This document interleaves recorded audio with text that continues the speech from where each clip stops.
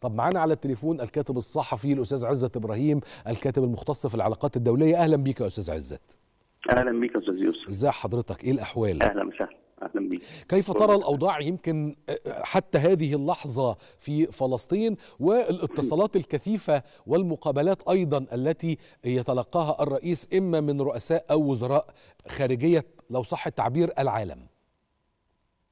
أعتقد إنه الدبلوماسية السياسية الدبلوماسية الرئاسية في مصر بتتحرك بشكل واعي جدا لمتطلبات هذه المرحلة تعمل على إنهاء هذا الوضع المأساوي في قطاع غزة وعلى الأقل نريد أن تدخل المساعدات دون مضايقة من إسرائيل ودون تعرض المعابر للقصف من جانب الإسرائيلي. للأسف الشديد هم لا يسمعون هناك بالفعل انتهاكات صارخة بتحدث. هناك تحذيرات من الأمم المتحدة بأنه هناك تحولت غزة إلى قطعه من الجحيم على رأي مثل ما قالت إحدى المسؤولين في الأمم المتحدة. هناك وضع يحتاج إلى تحرك سريع خلال 24 ساعة القادمة.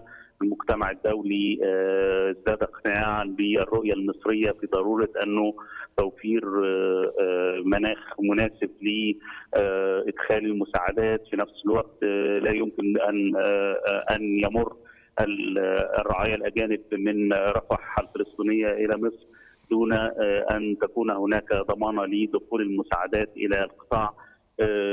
تمسك مصر بهذا المطلب. أعتقد إنه أثمر عن زعماء عدد من الدول ودول كبيرة ودول دائمة العضوية في مجلس الأمن تتشاور مع مصر في هذا الشأن.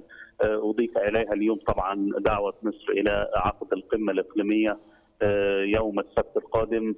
هناك ترحيب دولي كبير بهذه القمة.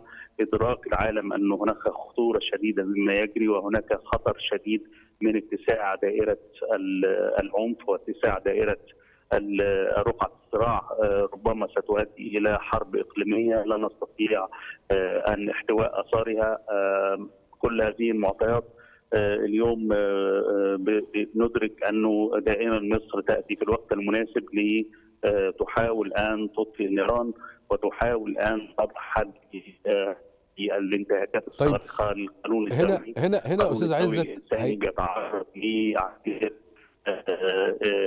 نير كامل في القطاع غزه أستاذ عزت أستاذ عزت هنا هيبقى بالتأكيد في ملاحظتين مهمين أنا محتاج رأي حضرتك وتحليلك ليهم.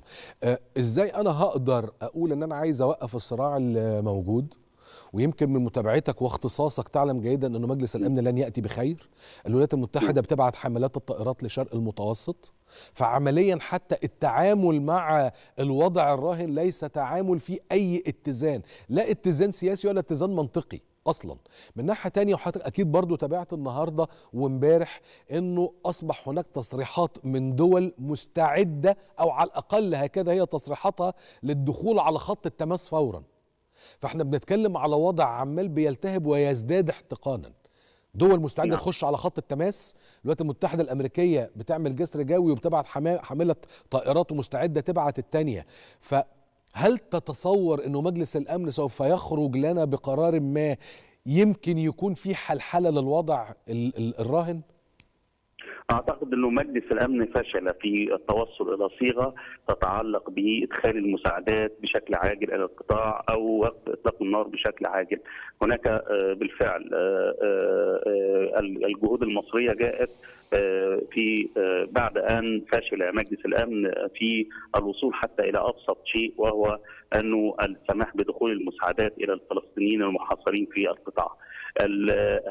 مسألة إنه هناك حشد عسكري كبير في المنطقة أو في الشرق المتوسط مصر لا يسميها مثل هذه الأمور ولكنها تعمل وفق رؤية واضحة في شأن إنه لابد من خفض التصعيد ولابد من انه وقف ما يجري على من حشد عسكري على قطاع غزة.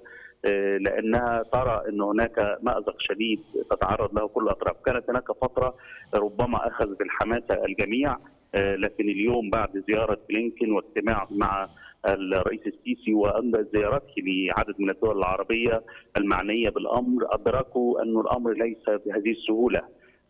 هناك مأزق في لدى الحكومة الإسرائيلية مأزق كبير لأنه رفع سقف التوقعات إلى مستوى هائل.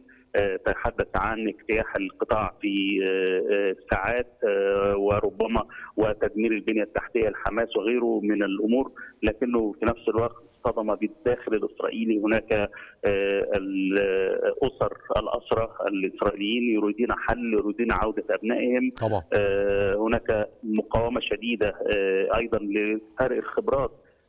نتنياهو ليس بالرجل العسكري الذي يستطيع أن يحسم معركة. هناك تخوف شديد من إدارة هذه المعركة واستدعاء الاحتياطي غير المؤهل وغير المدرب بشكل كافي آه هذه الأمور كلها آه أعتقد أن مصر تحينت الفرصة المناسبة حتى أنها تطرح طرح آه لا يلقى اليوم قبول عدد كبير من الدول وهناك استجابة واسعة لهذا المطلب المصري بأن نجلس على التفاوض وأن نحاول أن نطفئ هذه النيران في أسرع وقت ممكن. طيب في حاجتين بقى مهمين جدا أستاذ عزت وده أنا بسأل فيهم أستاذ عزت ككاتب متخصص كمان جدا في الشؤون الأمريكية أو العلاقات الأمريكية الشرق أوسطية. أنا قريت المقال الأخير لتوماس فريدمان وقريت أيضا مقالا افتتاحيا في وول ستريت جورنال. توماس فريدمان بالتأكيد بيتكلم على الوضع الراهن على الأراضي الفلسطينية إن هو وضع الانفجار طول ما هو مستمر بهذا الشكل وعدم وصول إلى حل ما للتهدئة العسكرية فان الوضع ذاهب للانفجار. فهنا هيبقى سؤالي المتعلق أو المبني على مقال توماس فريدمان والأمريكان ناويين على إيه؟ اللي بيعملوه هو المزيد من الاحتقان والمزيد من الشحن في المنطقة. طيب وول ستريت جورنال تتحدث الحقيقة في مقال خائب من وجهة نظري. معرفش حضرتك شفته ولا لأ. بيتكلموا بقى على مسألة خلق ضغوط على مصر لقبول مسألة التوطين أو مسألة استقبال الفلسطينيين في مقابل حزم وما إلى ذلك. الإدارة المصرية شديدة الوضوح بأنه لأ مرفوض ده أمن قومي اولا وتصفية للقضية بالدرجة الأولى أيضا. لكن الأمريكان عايزين إيه؟ ملاحظة حضرتك دقيقة جدا في مسألة أنها وجود تباين في الآراء في الإعلام الأمريكي. هناك بالفعل تيار داخل الصحافة الأمريكية بيرى أن إسرائيل في وضع حرج وأنها لابد أن تستمع إلى صوت العقل في هذه المرحلة. هناك أكثر بالفعل أكثر من مقال في الساعات الأخيرة بيتحدث عن ماذا بعد. ماذا ستفعله إسرائيل في قطاع غزة بعد أن تدخل؟ ما هو المدى الذي ستصل إليه العملية العسكرية وما مدة بقاء إسرائيل في القطاع؟ وهي تعلم أن خبراتها السابقة في عمليات الغزو من هذا النوع واخرهم 2014 منيت بفشل كبير. واضطرت إلى الخروج في نهاية الأمر رغم إنها كانت بتقوم بعمليات محدودة. إضافة لتطور نوعي حصل في المقاومة وطريقة تنفيذها للعمليات، يعني هذا لم تعرفه ابدا لا أجهزة الاستخبارات ولا الأمن ولا حتى الجيش الإسرائيلي، ما عرفوش يعملوا قدام التطور الجديد ده حاجة، لأنه ما اختبروهوش قبل كده. صحيح. المسألة الثانية هي مسألة أنه الأصوات اللي بتتكلم على موضوع التوطين والتهجير وكده أعتقد أنها بتقلل كثيرا من وضع الدولة المصرية وتقلل كثيرا من فكرة أنه مصر تتمسك بأراضيها وبحدودها وأنها لا تقبل مثل هذه الصفقات. هم يريدون أن يكون الفلسطينيون أن يحصل الفلسطينيين على وضع مثل ما هو وضع اللاجئين في أكثر من دولة عربية ويروا أنه مصر عليها أن تأخذ نصيبها اليوم.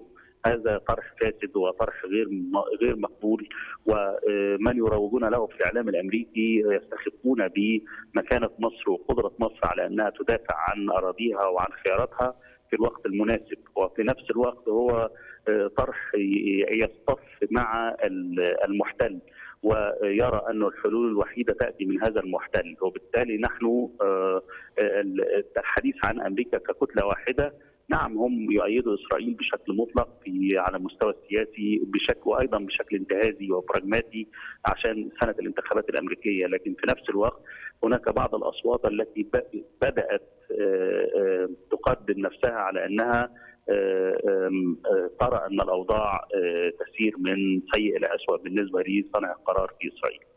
أشكرك جدا جدا جدا يا أستاذ عزت ويا ريت تنورنا في البرنامج بقى قريب. وأنا لا يكفيني إن أنا أقابل حضرتك في مناسبات. أحب أتنور بيك وأتشرف بيك في برنامجنا. كل الشكر للكاتب الصحفي الكبير أستاذ عزت إبراهيم الكاتب المختص في العلاقات الدولية.